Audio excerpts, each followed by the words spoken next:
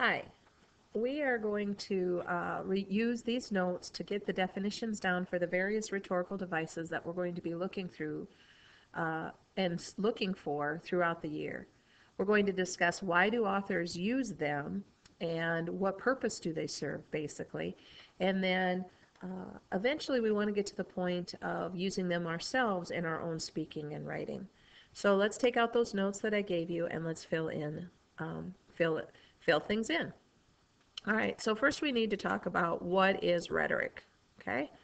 Well, rhetoric is the art of speaking or writing effectively. It is the art or science of using language to change or influence behavior. That's why in college you can take a class called rhetoric, which is similar to a communications class. But in this communications class, you might use it to speak, learn to speak effectively, or write effectively. But most of the time, it's going to involve those persuasive elements. So if you remember last year in English 10, you did a partner speech and you did a selling of a product and you were trying to persuade us. All of that is rhetoric. Okay? So what we're going to do right now is we're going to go through and mark down in your notes the different types of rhetorical devices that there are. Um, so there are up to nine. You'll notice that I added one. You have anaphora, allusion, antithesis, parallelism, and then ethos, pathos, and logos. And then all authors, whether you're doing fiction or nonfiction, uses figurative language. You'll notice that I also added buzzwords at the end. Okay, so let's take a look at um, some of these specifically. So for example, well, before we go on to that, sorry I jumped the gun there, is why use rhetorical devices in the first place? What's their purpose? If we slide this over, we're going to find out that the purpose is that writers use rhetorical devices to get a required response. It's really important that we understand that rhetorical devices are so that everybody in the audience has the same reaction. And that re reaction can be an emotional one, it can be uh, a logical one, and it so, but most often it is for the purpose of emotion. Okay. Oh, the line stays there. So let's erase that. All right. So now let's get into a few of them that we're going to be talking about. First, we have allusion. Okay. An allusion, as you know, is a reference to something, something that the reader is already supposed to know, you know, like literature or great, great sayings of great men or mythology, works of art, and even history. Okay. Um, when you're using allusions as a writer, you have to consider who your audience is. If uh, the author is writing for my generations, they might make some references to the 80s. I'm reading a great book called Ready Player One, which is all about the 80s, and I'm thoroughly enjoying it. For most of you, however, those allusions would go right over your head. But for everybody, this one doesn't. Because we had grown up knowing uh, why did the chicken cross the road.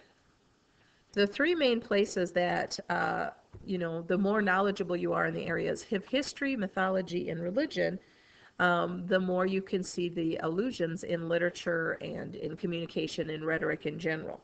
So the better you better read you are in those three areas, the more you can pick up on that.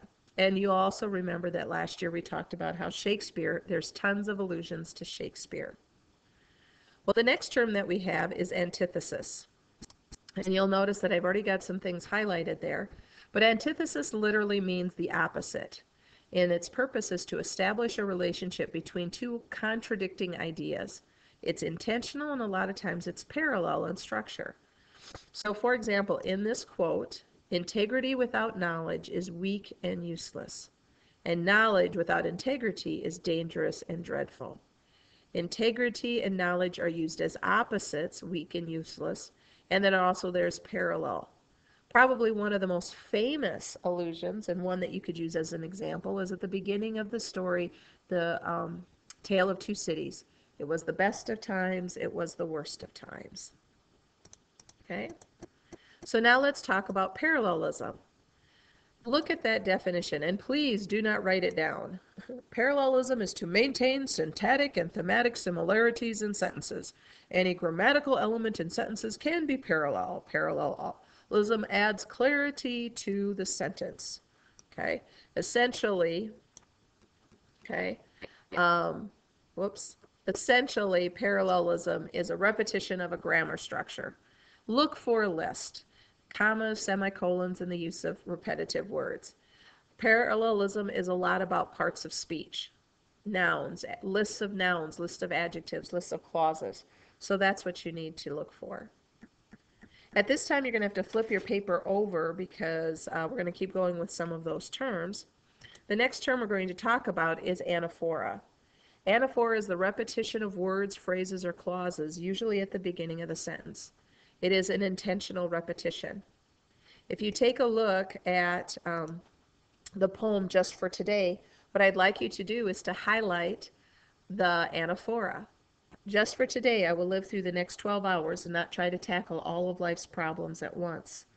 Just for today, I will improve my mind. I will learn something useful and I will read something that requires thought and concentration. Just for today, I will be agreeable. I will look my best, speak in a well modulated voice, be courteous and considerate. Just for today, I will not find fault with friend, relative, or colleague. I will not try to change or improve anyone but myself. Just for today, I will do a good turn and keep it a secret. If anyone finds out, it won't count. Just for today, I will have a program. I may not follow it exactly, but I will have it. I will save myself from two enemies, hurry and indecision. Just for today, I will do two things I don't want to do just because I need the discipline. And just for today, I will believe in myself and I will give the best to the world and feel confident that the world will give its best to me. If you highlighted just for today, I will, you have found the anaphora. But you will also notice that it's parallel. It's a phrase, the phrase just for today, followed by the subject and the verb, and it looks like a list of sentences. The last thing on your notes, sorry, got to click here, is, um, oh, first I want to talk about buzzwords, and you're going to have to sneak this in here. Buzzwords are the words that we use to elicit an emotional response. It might be profanity, the use of racial slurs, or it might be an ultra sensitive topic at the time.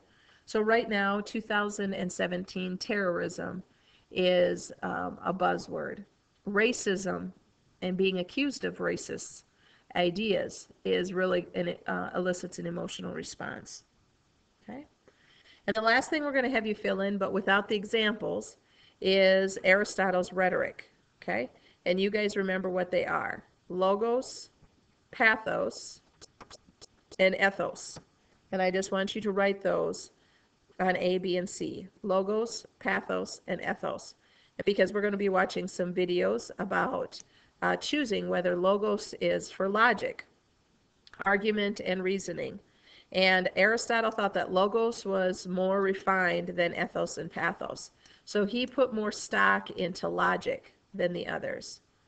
Pathos, remember, is emotional, okay? The emotional appeal.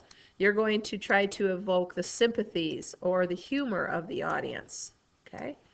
Ethos, which we dealt with last year, is your reputation. Okay? The moral character, the credibility of the writer.